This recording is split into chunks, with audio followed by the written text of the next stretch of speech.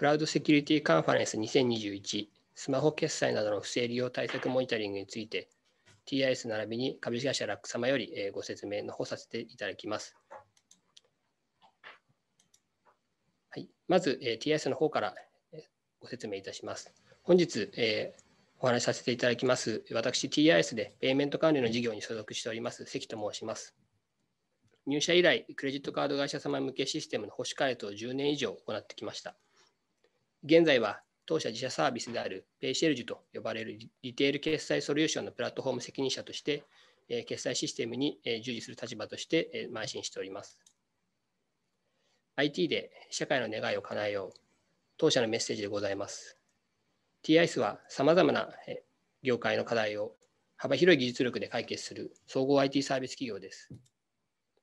さて、本日のテーマでもあるスマホ決済などの不正利用モニタリングですが、本日は大きく5点のテーマでお話ししたいと思います。まず、昨今のコロナ禍におけるキャッシュレス決済への期待やセキュリティインシデントについて振り返りたいと思います。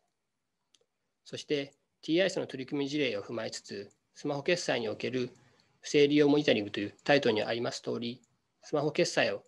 稼働させている基盤システムが持っているログや挙動を可視化し、モニタリング運用を高度化する事例を紹介したいと思います。最後に、モニタリングの重要性を当社見解として触れさせていただき、株式会社ラック様の方にバトンタッチして、よりセキュリティのお話や事例を紹介いただきたいと思っております。まず、コロナ禍におけるキャッシュレス決済の期待をお話しいたします。さて、皆様ももしかしたら数字はご存知かもしれませんが、キャッシュレス決済の市場動向に関する弊社認識をご紹介させていただきます。昨今は皆さんの中にも多くの方がキャッシュレスを使い慣れているかと思いますが、2015年は18%の決済比率でありましたが、2025年には約40%とかなりの割合を占める見込みで推移しております。こちらはキャッシュレス協議会より発表されたものです。コード決済の利用状況につきましては、コロナ禍で一時停滞も見えましたが、現在は新生活の様式の中で復調兆しでございます。本日、注目したい点といたしましては、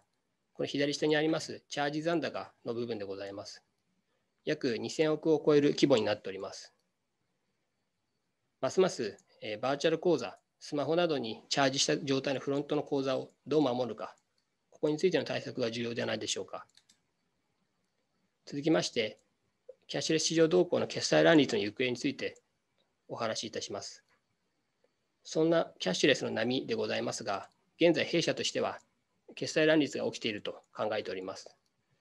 第1幕につきましては、キャッシュ各種ベンチャースピリットによるキャッシュレスの決済市場、こちらが爆発的に広がったというふうに見ております。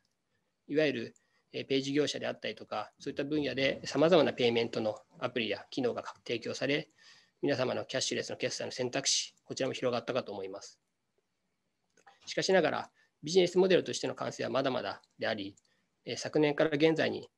この先数年かけて第2幕と呼んでおりますが、大手事業者等が参入し、囲い込み乱立が続くのではと考えております。今後、複数の事業者が連携もしくは統一する、え総合的な決済の仕組みというものが出来上がってくるのではないかと考えております。そのようなキャッシュレスの市場の、え競争月間に加えてですね、現在は新型コロナの流行によりまして、新しい生活様式や行動変容が求められることになっております。これにより、これまでとは異なる理由で、キャッシュレスの需要がさらに高まったと考えております。その中で、決済システム、こちらにつきましては、さらなる安定性が求められるとともに、社会インフラの基盤として24365の24時間365日稼働している必要があると。その中、確実な運用、そして攻撃者による不正なアタックに対して毅然と立ち毅然と立ち向かう安心安全な世界を作ることが必要だと考えております。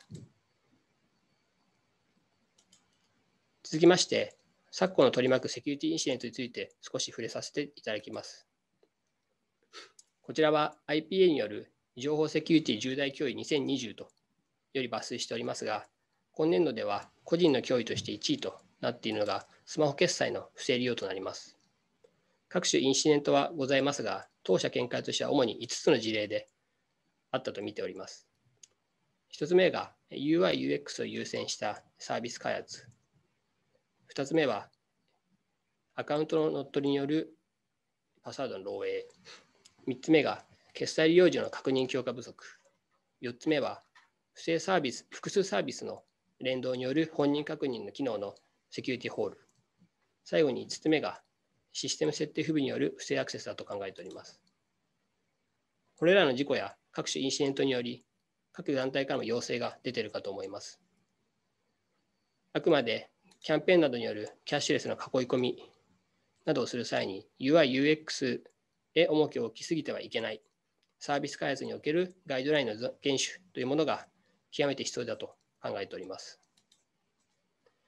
さて、ここから少し弊社のソリューションを紹介させていただきます。TS では創業当初よりクレジットやペイメント管理のシステム提供につきまして、約1500名の社員で、えー、決済関連に従事しております。決済分野に大きな強みを持って事業の方を展開しております。先ほど自己紹介の時にも簡単に触れさせていただきましたが、弊社の決済サービスを総称するブランドブランド名ペイシェルジュ、こちらでは2012年以降、決済を自社サービスに組み込みたい事業者向けにさまざまな決済サービスをご提供しておりました。昨今では、スマホというものはコミュニケーションツールとして切り離せないものであり、当社サービスにおきましてもスマホに関するものが増えているという状況です。こちらはデジタルウォレットサービスと呼ばれるものでございますが、トヨタ様のキャッシュレス決済アプリ、トヨタウォレットの事例でございます。電子マネー、QR、バーコード等のさまざまな決済手段と、店舗、EC、アプリ等の多様なインターフェースを一つのアプリに統合するデジタルウォレットサービスをご提供している事例となります。続いて、こちらはウィジェット配信プラットフォームでございます。一つのスマホアプリにおいて多種多様なミニアプリを搭載するビジネスコラボレーションを実現するサービスです。決済と日常必要なサービスをつなぐ役割としてご利用いただけております。こちらは PAYCIERGE の各サービスを俯瞰した絵になりますが、この各種サービスが稼働する高セキュリティクラウド基盤において、複数のサービスを連動しながら、 end to end での稼働性を監視するために、サービス提供者としてシステムの可視化を強化してまいりました。その際に重要な役割を担っているのが Elastic Stack と呼ばれる解析エンジンです。もともとはサービス監視の利用の一つで使っておりましたが、不正利用の動向であったり、不正操作についてシステムの可視化をトリガーに兆候を見つけることができないかというテーマで検証の方を進めております。それでは当社サービスで培ったモニタリングサービスを少しご紹介させていただきます。モニタリングサービスとはですね、システムの多種多様なデータ、ログなどをつなぎ合わせ可視化していくものです。世の中にいろいろな製品が出ているかと思いますが、当社ではこれらを SaaS 型で Azure のプラットフォームに Elastic Stack を活用して提供しております。データの流し込みさえできれば誰でも利用できるような仕組みを構築しております。モニタリングサービスのシステム概要を少しご紹介いたします。このモニタリングサービスですが、TIS の自社サービスでもある決済ソリューション、ペイシェージでも活用しております。その際に初期導入で弊害となり改善を繰り返してきましたが、その中で特徴といたしまして、マルチプラットフォームに対応しているということでございます。いわゆるエージェントを入れて仕込むなどが通例の仕組みで作られるものですが、そういった機能を入れれない環境というものが多数ございます。左の方に投影しているような OS、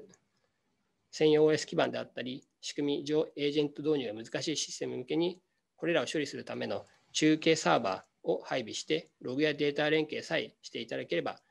利用者ごとに区画を分離し、サービス提供できる仕組みを作りました。Anytime, Anywhere、いつでもどこでもリアルタイムな解析を実現します。当社でもです。その中でここに記載したようなダッシュボードを活用して俯瞰したサービス監視を目指しております。少し一例の方を載せておりますが、一見関係性のないようなシステム監視におきましても、全体で紐付けて俯瞰した形で可視化すると、特にスマホ決済などの分野におきましては、決済までの流れで行われる認証や操作ログに不穏な動きはないか、検証ができるのではないかと考えております。また、これらを機械学習機能を保有しておりますので、通常日と異例日の違いを分析しながら、違和感を可視化することの研究、こちらも行っております。最後に、今後さらに Elastic Stack を活用し、 LAC 様とも一緒に目指していきたい将来像の方を少しお話しいたします。昨年度になりますが、LAC さんとセキュリティ分野における協業を発表いたしました。SOC のようなサービス、プロアクティブな監視対策について協業を進めておりますが、さらにフロントからレガシーなシステムまで一連の中での脅威分析、不正利用モニタリングを受けるテーマで今回ご紹介させていただいた Elastic Stack、こちらによるモニタリングサービスを TIS、 LAC で双方連携しながら活用できるのではないかと考えております。モニタリングルールのエンジンであったりとか、AI による自動学習、こちらにつきましては、システム運用、不正モニタリングを従来の姿から変わるためのツールだと思っております。何事も各種手動で自力で行うには限界があると考えております。また、各組織の領域で閉じたモニタリング、分析ではすり抜ける可能性もあると考えております。そのためにも、いつでもどこでも同じものを見て分析する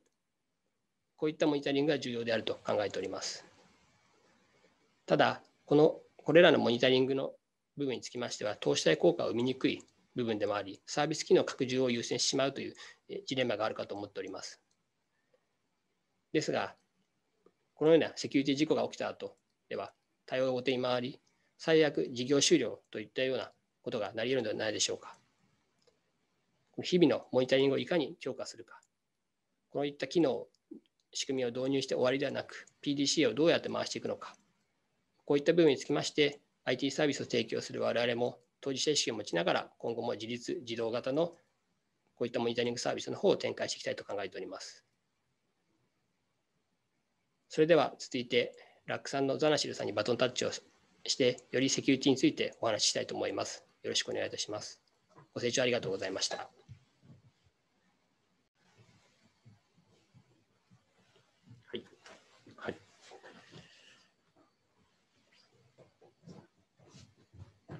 はい、それでは続きまして、ラックの方から発表させていただきます。よろしくお願いします。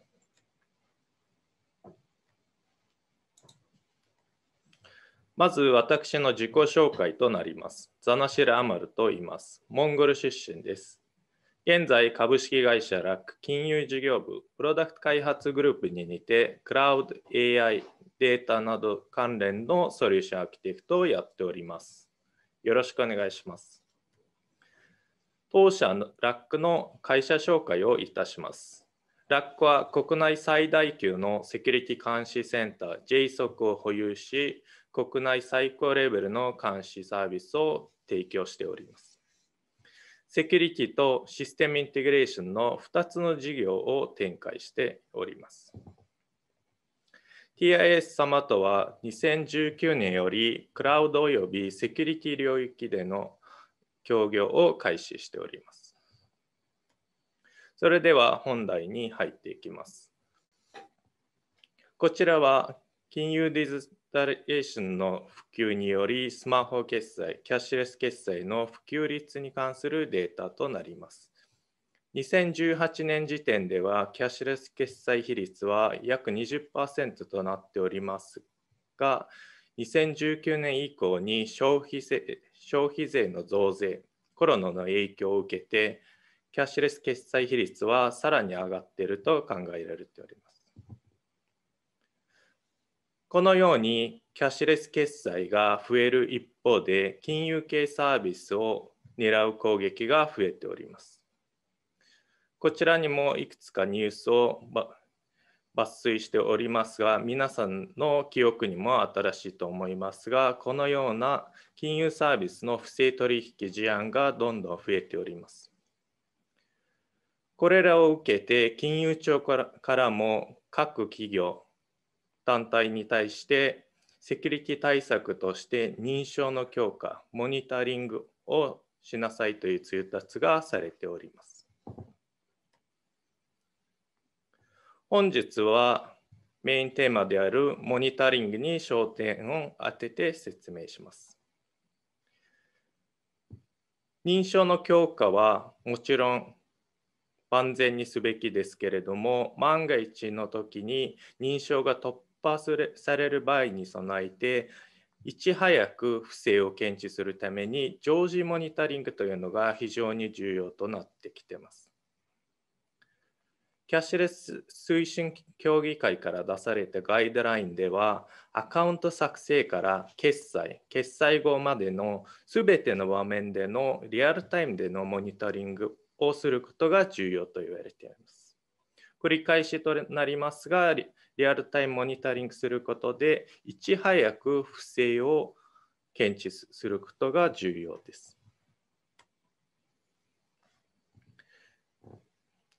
リアルタイムモニタリングによるリスク検知要件をまとめております。1つ目は大量のリアルタイムデータを統一されたデータソースに即座に取り込む必要があります。2つ目として取り込まれた大量のデータ、いわゆるビッグデータをリアルタイムで正確に検索しアラートする必要があります。3点目ですけれども、機械学習や深層学習などの AI 技術を使って未知のリスクや脅威を検知する必要があります。でこの3点なんですけれども、この後紹介する Elastic Stack はこのすべての要件を満たしております。まず、 Elastic Stack について簡単に紹介させていただきます。 Elastic Stack を使えば、あらゆるソース、あらゆるフォーマットでデータを取得でき、できリアルタイムに検索、分析、可視化することができます。エラスティックスタックは SHIB エンドポイント機能のセキュリティソリューションを持っており、さらに機械学習機能で異常検知などがする可能となっております。先ほどの要件の3点目ですね、にマッチします。それでは、 Elastic Stack を使ったモニタリングのユースケースを紹介させていただきます。まず、攻撃動向のモニタリングの事例となります。ラックのセキュリティ監視センター JSOC では世界中にハニーポットと呼ばれるセンサーを設置して大量の攻撃情報をモニタリングしています。このモニタリングシステムを Elastic Stack を使って2019年に構築運用開始しました。画面左側でもあるんですけれども、 Elastic Stack でデータを可視化してそのデータをさらに活用しております。活用事例としては、弊社の JSOC オリジナルシグネチャーの JSIG、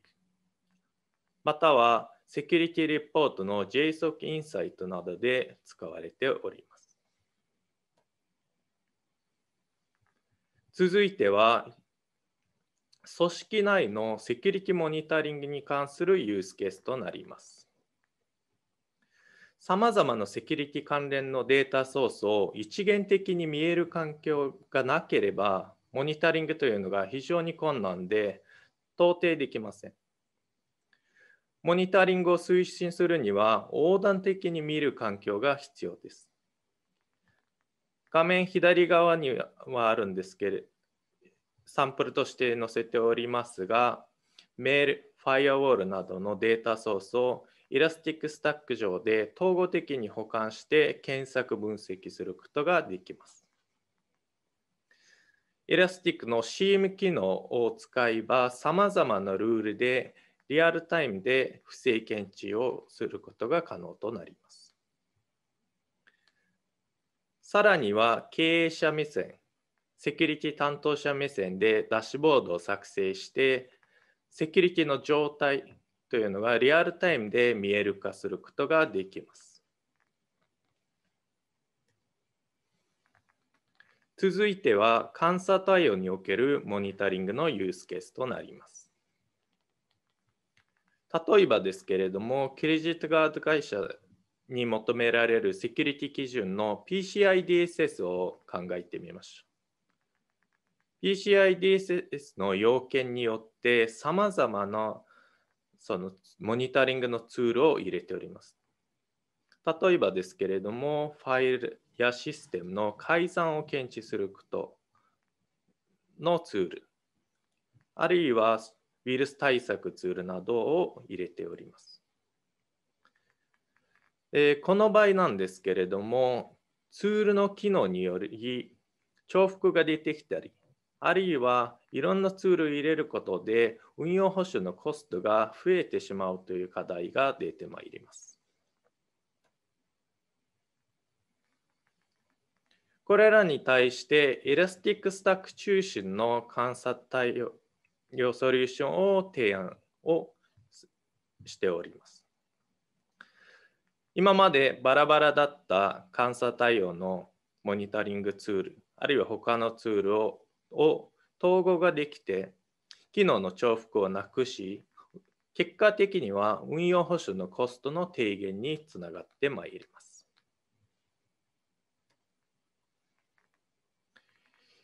以上、モニタリングの重要性と Elastic Stack を使った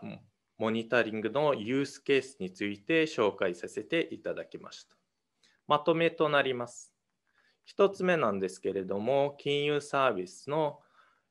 システムですね。の入り口での対策というのが非常に重要です。それが認証の強化というのが非常に重要となっております。その上で不正抑制のためにはサービスやシステムのリアルタイムでのモニタリングを行うことが非常に重要です。